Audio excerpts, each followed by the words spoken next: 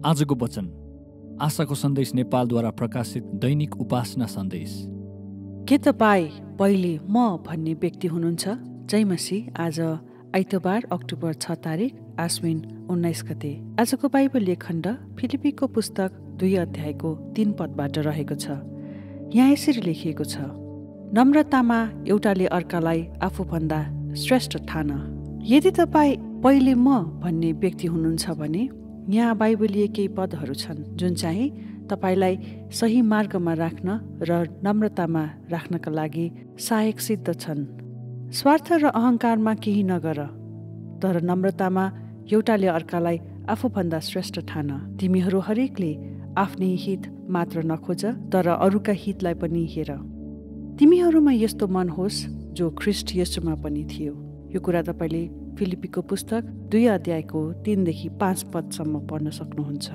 यसुले मानिसहरूसँग त्यसरी नै व्यवहार गर्नुभयो र तपाईँ पनि मानिसहरूलाई त्यसरी नै व्यवहार गर्नका निम्ति बोलाइनु भएको छ। के यो गर्न सजिलो वा सुविधाजनक हुन्छ त? होइन। यो चाहिँ हामीमा भएको आत्मकेन्द्रिक स्वभावहरूको विपरीत हुन जान्छ। अनि तपाईँ हिजो अनुग्रही हुनुहुन्थ्यो भन्दैमा आज तपाईँले मानिसहरूलाई हिजोको जस्तै असल व्यवहार गर्नुहुन्छ भन्ने कुराको कुनै पनि निश्चयता छैन। अनुग्रह पोसाक जस्तै तपाईँले यसलाई प्रत्येक दिन बिहान पहिरिनुपर्छ अनि दिनभरि लगाइरहनुपर्छ। म कसरी त्यसरी जिउन सक्छु त भनी तपाईँले सोध्नुहोला। दिनहु परमेश्वरबाट अनुग्रह प्राप्त गरेर अनि अरूहरूलाई पहिलो स्थानमा राख्ने निर्णय गरेर। उनीहरूलाई सहायता गर्ने र प्रोत्साहन दिने मार्गहरू खोज्नुहोस्। जब सबैजनाले कुनै न कुनै किसिमको लडाइँको सामना गरिरहेका हुन्छन् तीमध्ये तपाईँ पनि एक हुनुहुन्छ जो उनीहरूको जीवनमा आएर उनीहरूलाई उत्साहको वचन दिन सक्छ। यो तपाईँले हितोपदेश सोह्र अध्यायको चौबिस पदमा हेर्न सक्नुहुन्छ। उनीहरूलाई निरुत्साहित हुन नदिनुहोस्। नम्रता चाहिँ एक सोच हो जुन चाहिँ पहिल्यै निर्धारण गरिएको हुन्छ। मेरो वरपर रहेका मानिसहरूको म वास्ता गर्छु। म सधैँ पहिलो हुनु पर्दैन। परिवर्तनको लागि म अरू कसैलाई विजय बन्न सहायता गर्नेछु। नम्रताले यस्तो प्रार्थना गर्दछ।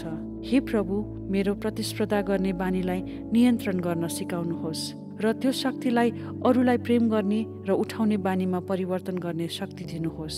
प्रभु तपाईँले यस्तो कार्य कसरी गर्नुभयो मलाई पनि देखाउनुहोस् र यस्तै कार्य गर्नका निम्ति मलाई पनि सहायता गर्नुहोस्।